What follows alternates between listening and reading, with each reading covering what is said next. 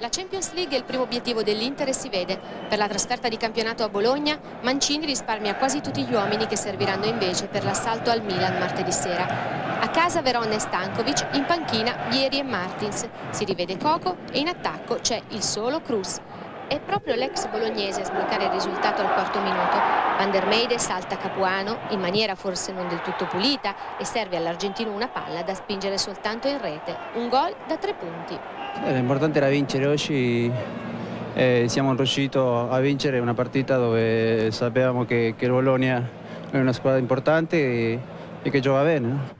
Il vantaggio serve a far respirare i nerazzurri, ma dura poco perché la squadra di Mazzone non sta certo a guardare. E al decimo è Iglitare a superare Toldo di testa, ma Farina su indicazione del guardalinea annulla su presunta posizione irregolare di Bellucci, alla Moviola il giudizio.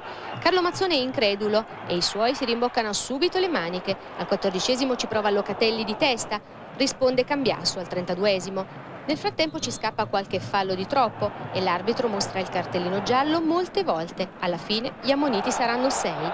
Mancini riflette e i conti non tornano e che le cose non vanno come vorrebbe lo dimostra la straordinaria parata di Toldo su un tiro altrettanto bello di Ciro Capuano che di fatto impedisce ai bolognesi di andare a riposo sul pari.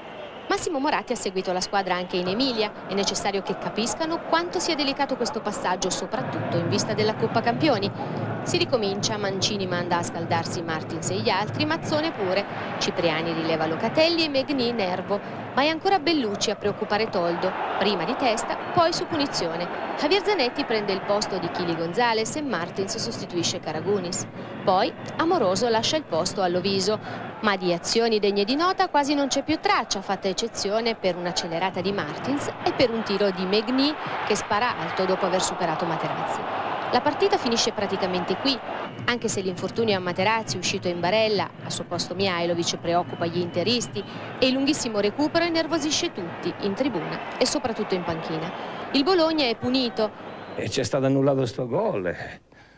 Guardalinea oggi ha voluto inventarsi, non che ha inventato, ha, ha avuto una, una sottigliezza, una finezza, veramente. L'importante è vincere, riprendere il campionato con una vittoria.